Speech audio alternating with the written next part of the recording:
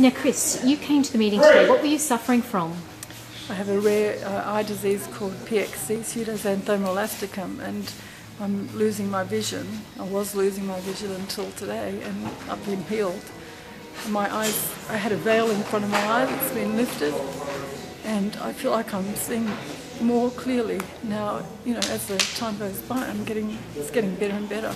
Wonderful. And Chris, you also had for your back. I did. I was in a motor vehicle accident, and I've had um, back and neck injury, and um, I've had that about 18 months ago, and I'm I'm feeling. Oh, I was in pain sitting here, and now it's just left. It's a miracle.